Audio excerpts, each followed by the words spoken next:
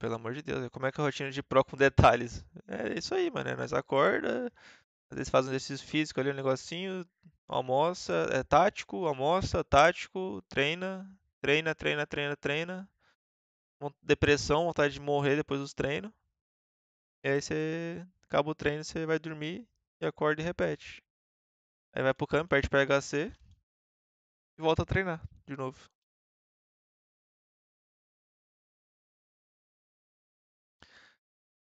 É isso aí, cara.